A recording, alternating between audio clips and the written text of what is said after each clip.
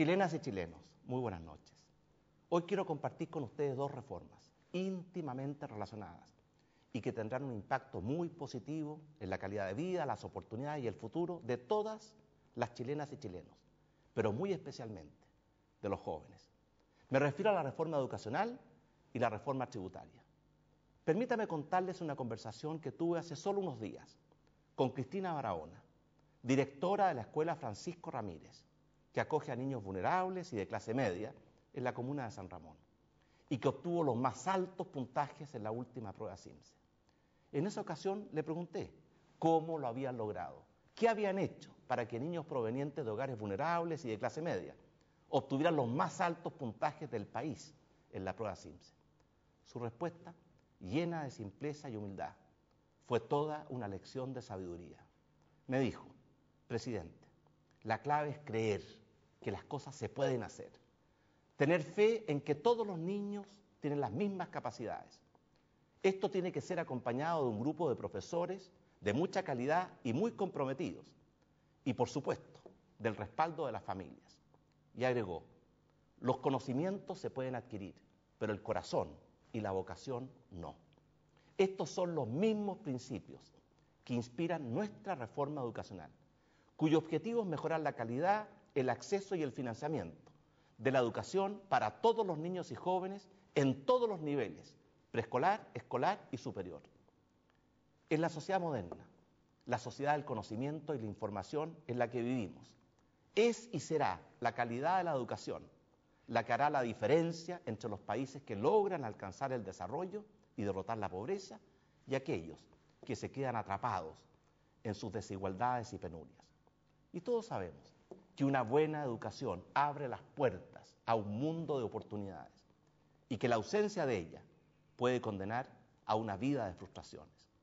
Por eso el gobierno y la sociedad chilena han puesto a la educación en el corazón de nuestras preocupaciones y prioridades. La educación es un medio, pero también es un fin. Es un medio para incrementar nuestras capacidades y es un fin para crecer y realizarnos como personas. En consecuencia, la batalla por una educación de calidad para todos es la batalla del futuro. Y la tenemos y la vamos a ganar para crear una sociedad cada día más libre, más próspera, más justa y más feliz. En los últimos dos años hemos avanzado mucho en materia de educación. Hemos aumentado significativamente las becas y subvenciones de nuestros estudiantes y también las remuneraciones de nuestros profesores.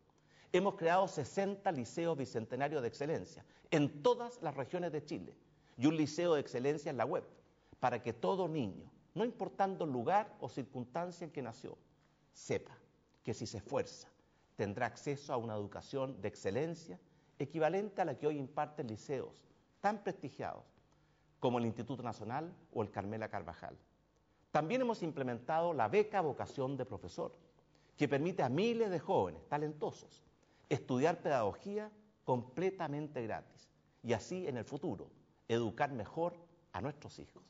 Y estamos potenciando y flexibilizando el estatuto y la carrera docente para reconocer, capacitar, motivar y premiar mejor a tantos buenos directores y profesores que se esfuerzan todos los días por dar a nuestros niños y nuestros jóvenes una buena educación. Y los resultados ya se empiezan a notar. Las pruebas SIMSE de los últimos dos años muestran que vamos por el camino correcto. En efecto, luego de décadas de estancamiento y gracias a los cambios antes mencionados y también al aporte de los gobiernos anteriores, finalmente la calidad y la equidad de la educación han empezado a mejorar. Y especialmente la calidad de la educación de los estudiantes más vulnerables y de clase media. Pero no podemos bajar los brazos. Tenemos una deuda histórica y un compromiso moral con nuestros niños y jóvenes. Hoy debemos unirnos, redoblar nuestros esfuerzos y garantizar a todos una educación de calidad que les permita desarrollar en plenitud sus talentos, realizarse como personas y buscar su felicidad. Esa es la gran misión de nuestra generación, la generación del Bicentenario, y es también el principal objetivo de las medidas que hoy damos a conocer. Y la reforma educacional para ser justa y eficaz, tiene que empezar lo más cerca posible de la cuna, para corregir las desigualdades de origen, cuando aún estamos a tiempo. Todos sabemos que la educación y motivación de los niños en sus primeros años de vida son determinantes para su desarrollo emocional e intelectual posterior. Por esta razón, nuestro gobierno se ha comprometido a garantizar cobertura gratuita y de calidad en la educación preescolar a todos los niños pertenecientes al 60% de los hogares más vulnerables y de clase media. Esto significa aumentar en más de 75 mil los cupos en kinder y prekinder entre el 2012 y el 2014 y en un 20% el monto de esa subvención. Esto beneficiará a más de 300.000 niños.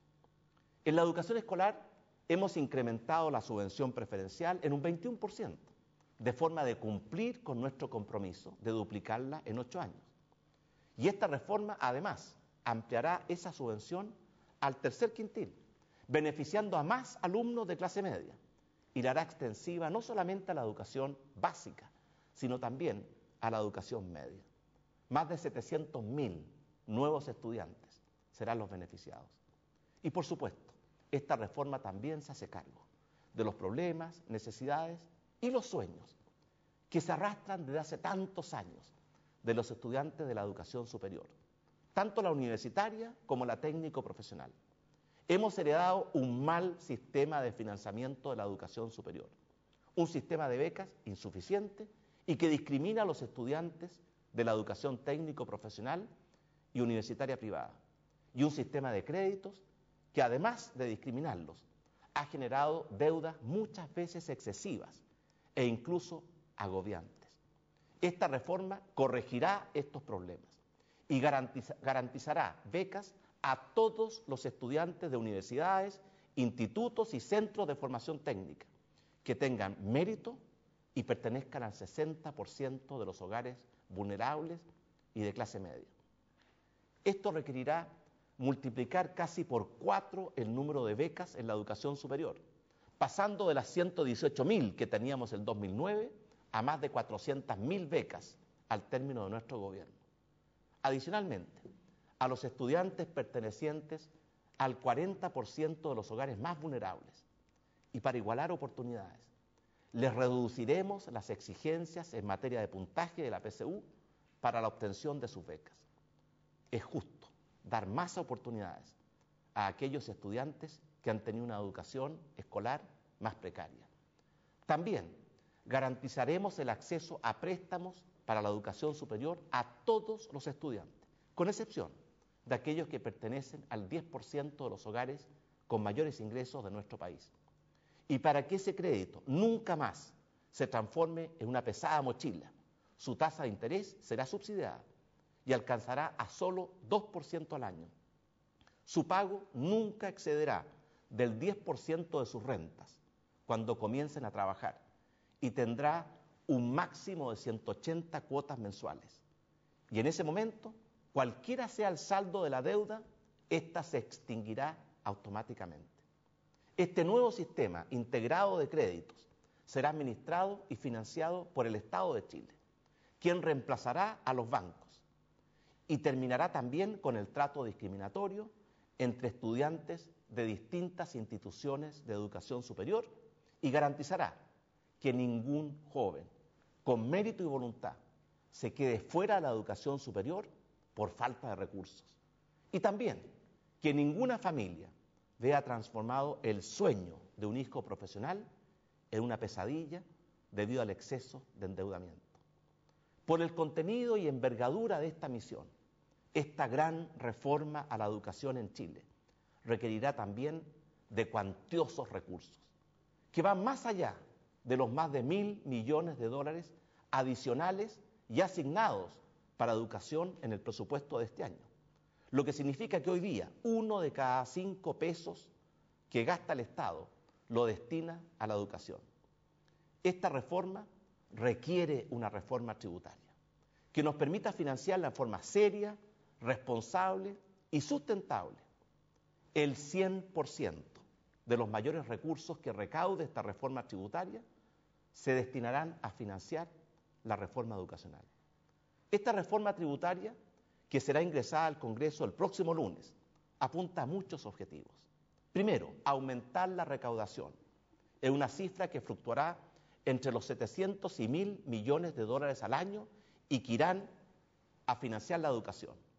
Y en esta materia es bueno recordar que estamos creando la Agencia de Calidad y la Superintendencia de Educación, que asegurarán la calidad y el buen uso de los recursos públicos.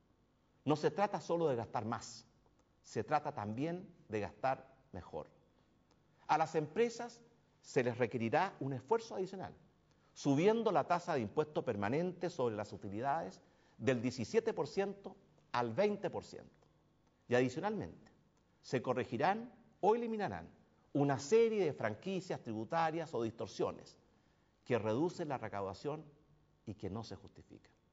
Segundo, esta reforma significará un alivio tributario para las personas al reducir las tasas marginales de sus impuestos a la renta. Estas rebajas fluctuarán entre el 10 y el 15%, correspondiendo naturalmente la mayor rebaja a los grupos de menores ingresos. Adicionalmente, se establecerá un incentivo a la educación y a la familia, al permitir a las familias de clase media descontar de sus impuestos hasta el 50% de los gastos que efectúan en la educación de sus hijos. Tercero, esta reforma impulsará también el ahorro, la inversión y el crecimiento, al reducir el impuesto de timbre y estampillas, el impuesto a los créditos, desde el 0,6% actual a un 0,2%, lo que va a beneficiar directamente a 2,8 millones de personas y más de 390 mil pequeñas y medianas empresas. Esta reforma también incorpora los llamados impuestos verdes, aquellos bienes cuya disposición final afecta negativamente el medio ambiente y la calidad de vida de la gente. Y incorpora subsidios verdes para fomentar el reciclaje de esos productos. Y adicionalmente, dado su impacto en la salud, se incrementará el impuesto a los licores de mayor graduación de alcohol. Esto es muy consciente del impacto que las alzas en los precios internacionales del petróleo han significado en los precios de los combustibles en Chile y también del duro efecto en el presupuesto y bienestar de las familias chilenas. Por estas razones, junto con esta reforma, potenciaremos y fortaleceremos el sistema de protección de los consumidores frente a alzas en el precio de los combustibles, creando un mecanismo de impuestos variables, de forma tal que cuando el precio de los combustibles sea alto, los impuestos bajen, el fisco recaude menos y los consumidores paguen menos. Y lo contrario ocurra cuando el precio de los combustibles sea bajo. Este mecanismo, sin duda, va a atenuar las fluctuaciones en el precio de los combustibles y va a significar un alivio al presupuesto de las familias. También en los próximos días daremos a conocer un bono que va a atenuar la situación generada por el alza de los combustibles a los taxistas y a los transportistas escolares.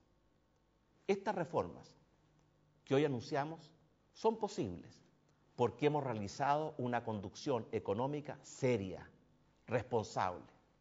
Es esto lo que nos ha permitido, junto al esfuerzo de todos los chilenos, que en un mundo golpeado por las crisis, las recesiones económicas y la inestabilidad, Chile haya recuperado y con fuerza su capacidad de crecer, de crear empleos, de mejorar los salarios y al mismo tiempo mantener sólidos y sanos sus equilibrios económicos.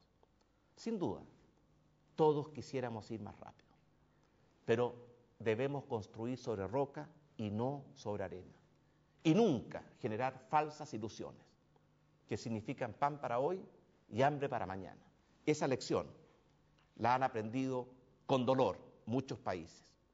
Se trata de un equilibrio complejo que como presidente tengo la obligación y el deber de cautelar. En consecuencia, mantendremos una conducción económica seria y responsable y seguiremos promoviendo la inversión, la productividad, la innovación, el emprendimiento y la agenda de impulso competitivo para no solo mantener, sino que incrementar nuestra capacidad de crecimiento, de creación de empleos y de mejoría en los salarios. Finalmente, un mensaje a los jóvenes de Chile. La sociedad entera está haciendo un enorme esfuerzo para financiar esta reforma educacional. Sin duda, todos debemos comprometernos, pero el éxito de esta reforma educacional depende básicamente de la voluntad, el esfuerzo y el compromiso de nuestros estudiantes. Al fin y al cabo, se trata de sus vidas, se trata de sus futuros. Por todas estas razones, pido encarecidamente a todos los parlamentarios, de gobierno y de oposición, que aprueben oportunamente tanto la reforma educacional como la reforma tributaria, las cuales, estoy seguro, nos permitirán dar un gran salto adelante hacia, este, hacia ese Chile con el cual siempre hemos soñado. Ese Chile y esa sociedad más libre, más próspera, más justa, mejor educada y también más feliz. Que Dios bendiga a nuestro país y a las familias chilenas. Buenas noches y muchas gracias.